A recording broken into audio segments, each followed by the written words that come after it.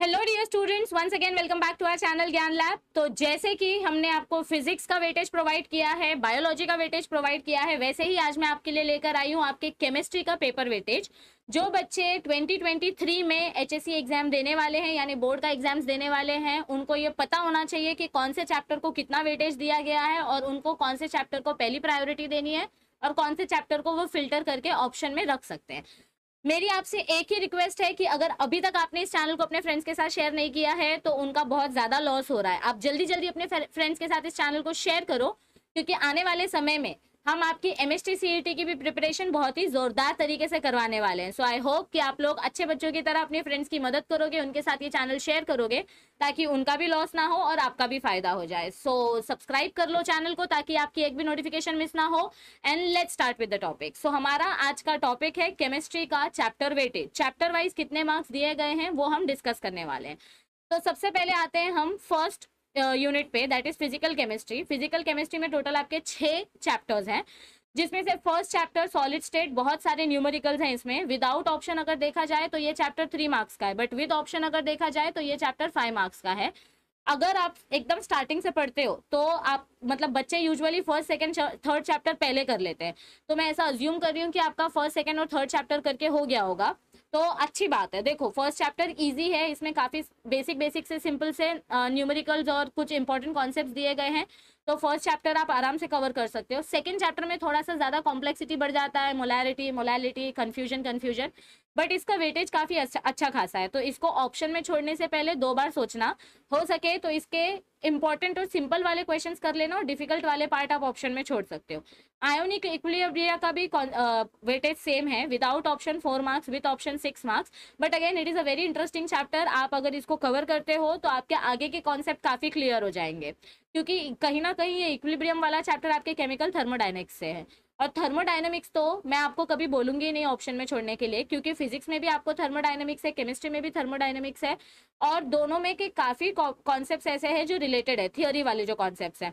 और इसका वेटेज इसको इंपॉर्टेंट बनाता है। इसका वेटेज सबसे ज़्यादा हाई है इस पूरी यूनिट में।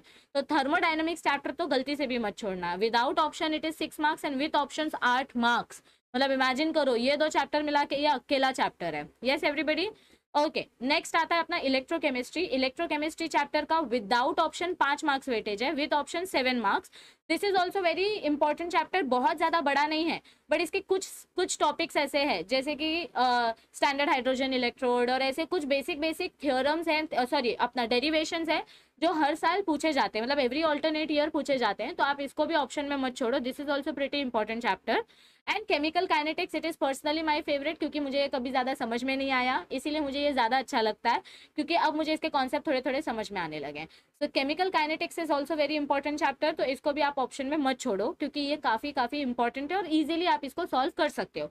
तो फ़र्स्ट यूनिट में से आप सेकेंड चैप्टर के थोड़े से पार्ट्स ऑप्शन में छोड़ सकते हो अदरवाइज़ आपको सारे चैप्टर्स करने चाहिए।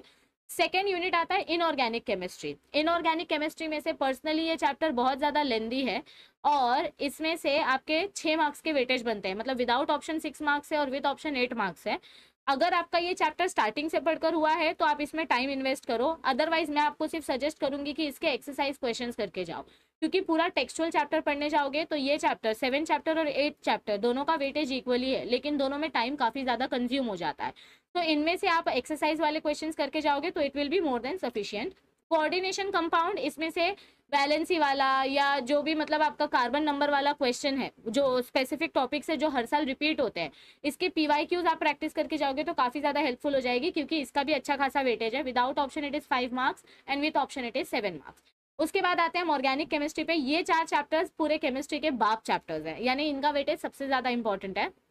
हेलोजन डेरिवेटिव्स पाँच marks without option seven marks with option और ये सबसे इजी चैप्टर है। मतलब बहुत सारे केमिकल रिएक्शन है इसमें बट ये चैप्टर सीधा सीधा आपके इलेवन से कनेक्टेड है। अगर आपने ये केमिकल रिएक्शन आज से आप एक चार्ट बना लो और इस चैप्टर में जितने भी रिएक्शन है, उनकी लिस्ट बना लो। अगर आज से कंटिन्यू आप इन रिएक्शन को फोर्टी डेज़ तक प्रैक्टिस करते हो तो मैं आपको गारंटी देती हूँ कि आपको ये चैप्टर से प्यार हो जाएगा। सेम अल्कोहल फिनोल ईथर और अल्डीहाइड कीटोन कार्बोक्सिलिक एसिड के साथ भी अप्लाई होता है। लेकिन ये जो अल्डीहाइड कीटोन वाला ये थोड़ा ज़्यादा स्पेशल है क्योंकि इसका वेटेज ज़्यादा है, इसमें से क्वेश्चन ज़्यादा पूछे जाते हैं। इनफैक्ट सीईटी में भी इसमें से क्वेश्चन ज़्यादा आते हैं। अमाइंस वाला chapter if you want you can skip some parts some unwanted parts इसमें से आप एक्सरसाइज और पीवाई क्यूज करके जाओगे तो भी चलेगा। क्योंकि चैप्टर वैसे तो छोटा है और वेटेज भी इसका कंपेरेटिवली कम है बट ऐसा नहीं है कि इंपॉर्टेंट नहीं है।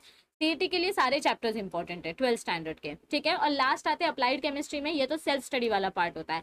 बायोमोलिक्यूल्स मेरा क्लास इलेवंथ का बायोमोलिक्यूल वाला चैप्टर जाके देख लो, आपको पूरा समझ में आ जाएगा। इसको ऑप्शन में नहीं छोड़ना है। इसमें से थियोरी ईजी क्वेश्चन आते हैं तो इसको रीड करो टेक्स्ट बुक रीड करो, आपको ये चैप्टर पूरा अच्छे से समझ में आ जाएगा। और फिफ्टीन और सिक्सटीन चैप्टर भी ऑप्शन में नहीं छोड़ना है। ये बहुत सिंपल चैप्टर से बच्चे गलती यही करते हैं कि वो लोग सिंपल चैप्टर को ऑप्शन में छोड़ देते हैं और फिर बाद में पछताते हैं कि ना तो हार्ड चैप्टर पढ़ के हुआ, ना सिंपल चैप्टर पढ़ पाए। तो सिंपल चैप्टर्स को तो बिल्कुल ऑप्शन में मत छोड़ो। फ़िल्टर करना ही है तो लेंदी चैप्टर्स को फ़िल्टर करो। जो लंबे लंबे चैप्टर्स हैं, उनमें से जो क्वेश्चन कभी नहीं पूछा गया है। वो फ़िल्टर करके आप साइड में निकाल दो और पीवाई की उसके ऊपर ज़्यादा ध्यान दो। तो ये था हमारे केमिस्ट्री सब्जेक्ट का वेटेज। आई होप आप अपने फ्रेंड्स के साथ हमारी चैनल को, हमारे वीडियोज़ को शेयर कर रहे हैं। क्योंकि बहुत ही जल्द आपके लिए मैं बहुत ही इंटरेस्टिंग सी सीरीज़ स्टार्ट करने वाली हूँ। So stay tuned with our channel if you want to know about that interesting series और आपकी एम एस टी की प्रिपरेशन भी हम काफ़ी जल्दी स्टार्ट करने वाले हैं। अभी फ़िलहाल आप बोर्ड्स पे फोकस करो।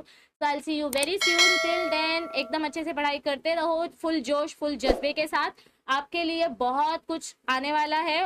आपके लाइफ में भी और हमारी चैनल पे भी।